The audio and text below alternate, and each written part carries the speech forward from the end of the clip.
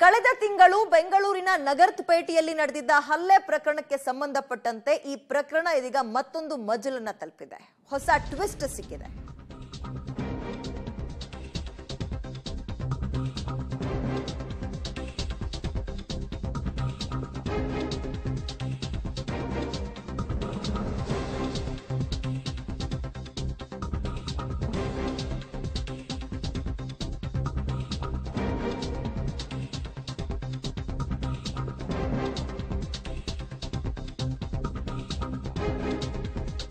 ಕಳೆದ ತಿಂಗಳು ಬೆಂಗಳೂರಿನ ನಗರಪೇಟೆ ಹಲ್ಲೆ ಪ್ರಕರಣ ಏನಾಗಿತ್ತು? ಈ ಪ್ರಕರಣ ಮತ್ತೊಂದು ಟ್ವಿಸ್ಟ್ ಸಿಕ್ಕಿದೆ. ಅವತ್ತು ಸುಲೈಮಾನ್ ಮೇಲೆ ಎಫ್ಐಆರ್ ಆಗಿತ್ತು. ಅಂದ್ರೆ ರಸ್ತೆಗೆ ಬಟ್ಟೆ ಎಲ್ಲ ಎಳ್ದಾಡಿ ಯಾರು ಹೊಡೆದಿದ್ರು, ಅವ್ರ ಮೇಲೆ ಎಫ್ಐಆರ್ ಆಗಿತ್ತು. ಇವತ್ತು ಅದೇ ತಿಂದ ಸ್- ಮುಖೇಶ್ ಮೇಲೆ ಕೂಡ ಎಫ್ಐಆರ್ ಆಗಿದೆ. ರಂಜಾನ್ ಇದ್ರೂ ಭಕ್ತಿಗೀತೆ ಹಾಕಿ ಕಿರಿಕ್ ಮಾಡ್ತಾ ಇದ್ದಂತ ದೂರು ಕೊಟ್ಟಿದ್ದಾರೆ. ಯಾರು? ಸುಲೈಮಾನ್ ತಂದೆ ದೂರು ಕೊಟ್ಟಿದ್ದಾರೆ. ಕೋರ್ಟ್ ನಿರ್ದೇಶನದ ಮೇಲೆ ಎಫ್ಐಆರ್ ಹಾಕಿದ್ದಾರೆ. ಈಗ ಮಾರ್ಚ್ ಹದಿನೇಳನೇ ತಾರೀಕು ನಡೆದಿದ್ದಂತಹ ಹಲ್ಲೆ ಇದು. ಅದೇ ಮಾರ್ಚ್ ಹತ್ತೊಂಬತ್ತನೇ ತಾರೀಕು ರಾಜಕೀಯ ಸ್ವರೂಪವನ್ನು ಪಡೆದುಕೊಂಡು ಇಡೀ ಏರಿಯಾ ಏರಿಯಾವೇ ಬಂದ್ ಆಗಿತ್ತು ಇದೀಗ ಈ ಪ್ರಕರಣದಲ್ಲಿ ಮತ್ತೊಂದು ಟ್ವಿಸ್ಟ್, ಹೊಸ ಟ್ವಿಸ್ಟ್ ಏನಪ್ಪಾ ಅಂತ ಹೇಳಿದ್ರೆ, ಹನುಮಾನ್ ಚಾಲಿಸಾ ಕೇಳ್ತಾ ಇದ್ರು, ರಂಜಾನ್ ಸಂದರ್ಭದಲ್ಲಿ ಮಸೀದಿ ಹತ್ರದಲ್ಲೇ ಇದ್ರು ಅಂದ್ಕೊಂಡು ಆತನನ್ನ ಅಂಗಡಿಯಿಂದ ಹೊರಗೆ ಕೇಳ್ದು ಬಟ್ಟೆ ಎಳೆದಾಡಿ ರಸ್ತೆ ಮೇಲೆ ಬೀಳ್ಸಿ ಹಲ್ಲೆ ಮಾಡಿದ್ರಲ್ಲ, ಆ ಪ್ರಕರಣದಲ್ಲಿ ಹಲ್ಲೆ ಮಾಡಿದ್ದವ ಆತನ ತಂದೆ ಇದೀಗ ಒದೆ ತಿಂದಂತಹ ಮುಖೇಶ್ ಮೇಲೆ ದೂರನ್ನ ಕೊಟ್ಟಿದ್ದಾರೆ. ಏನಂತ?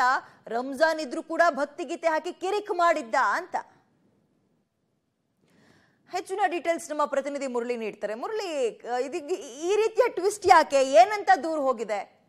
ಖಂಡಿತವಾಗಿಯೂ ಇದೆ ಯಾಕೆಂದ್ರೆ ಈ ಪ್ರಕರಣಕ್ಕೆ ಸಂಬಂಧಪಟ್ಟಂತೆ ಈಗಾಗಲೇ ಸಾಕಷ್ಟು ವಿಚಾರಗಳು ಕೂಡ ಬಂದಿತ್ತು. ಯಾಕಂದ್ರೆ ಮುಖೇಶ್ ಕೊಟ್ಟಂತ ದೂರದ ಮೇಲೆ ಐದು ಜನ ಆರೋಪಿಗಳನ್ನ ಬಂಧನಕ್ಕೆ ಒಳಪಡಿಸಿದ್ರು. ಮತ್ತೆ ಒಬ್ಬ ಆರೋಪಿ ಏನಿದ್ದ, ಆತ ತಲೆಮರೆಸ್ಕೊಂಡಿದ್ದ. ಆದ್ರೆ ಈಗ ಅದಕ್ಕೆ ಕೌಂಟರ್ ಕಂಪ್ಲೇಂಟ್ ಆಗಿ ಸುಲೇಮಾನ್, ಅಂದ್ರೆ ಈ ಪ್ರಕರಣದ ಆರೋಪಿ ಇರುವಂತ ಸುಲೇಮಾನ್ ಇದೆ. ಸುಲೇಮಾನ್ ತಂದೆ ಒಂದು ದೂರನ್ನ ಕೊಟ್ಟಿದ್ರು. ದೂರನ ಪ್ರಕಾರವಾಗಿ ಅಲ್ಸೂರ್ಗೇಟ್ ಪೊಲೀಸರು ಎನ್ ಸಿ ಆರ್ ಅನ್ನ ದಾಖಲು ಮಾಡ್ಕೊಂಡಿರ್ತಾರೆ. ಎನ್ ಸಿ ಆರ್ ಅನ್ನ ದಾಖಲು ಮಾಡ್ಕೊಂಡ ನಂತರ ಅದನ್ನ ಕೋರ್ಟ್ಗೆ ಒಂದು ಅನುಮತಿಯನ್ನ ಪಡ್ಕೊಂಡು, ಅನುಮತಿಯನ್ನ ಒಂದು ಅರ್ಜಿಯನ್ನ ಹಾಕಿದ್ರು. ಈಗ ಕೋರ್ಟ್ನ ನಿರ್ದೇಶನದ ಮೇಲೆ ಒಂದು ಎಫ್ ಐ ಆರ್ ಅನ್ನು ಕೂಡ ದಾಖಲನ್ನ ಮಾಡಿರುವಂತದ್ದು. ಕೊಲೆ ಯತ್ನ ಮತ್ತು ಕೊಲೆ ಬೆದರಿಕೆ ಏನು ಪ್ರ- ಪ್ರಕರಣಗಳೇನಿತ್ತು ಆ ಪ್ರಕರಣಗಳನ್ನ ಹಾಕಿ ಈಗ ಎಫ್ ಐ ಆರ್ ಅನ್ನ ಅಲ್ಸೂರ್ಗೇಟ್ ಪೊಲೀಸರು ಈಗ ದಾಖಲು ಮಾಡಿರುವಂಥದ್ದು.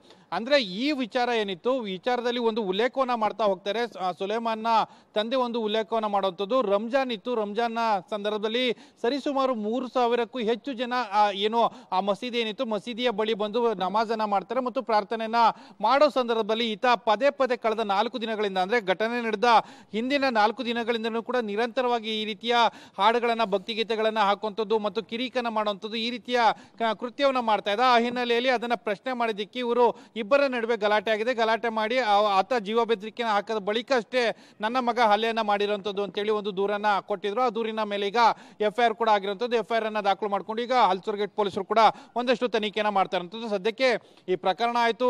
ನಗರಪೇಟೆಯಲ್ಲಿ ರಾಜಕೀಯ ಸ್ವರೂಪ ಇಲ್ಲ ಈ ಪ್ರಕರಣ ಪಡೆದುಕೊಂಡ ಬಳಿಕ ನಗರಪೇಟೆಯಲ್ಲಿ ಇದ್ದಂತ ಆ, ಮುಖೇಶ್ ಏನಿದ್ದ ಅಂದ್ರೆ ಹಲ್ಲೆಗೊಳಗಾದಂತನು ಮತ್ತೀಗ ಇನ್ನೊಂದು ಪ್ರಕರಣದಲ್ಲಿ ಆರೋಪಿ ಏನು ಮುಖೇಶ್ ಏನಿದ್ದಾನೆ ಆತ ರಾಜಸ್ಥಾನದಲ್ಲಿ ಇದ್ದಾನೆ ಅನ್ನೋದ್ರ ಬಗ್ಗೆ ಕೂಡ ಮಾಹಿತಿಗಳು ಸಿಗ್ತದೆ ಪೊಲೀಸರು ಆತನನ್ನ ವಿಚಾರಣೆಗೊಳಪಡಿಸೋದಕ್ಕೆ ಸಾಕಷ್ಟು ತಯಾರಿಗಳನ್ನು ಕೂಡ ಮಾಡ್ಕೊಳ್ತಾರಂಥದ್ದು ವಿದ್ಯಾ.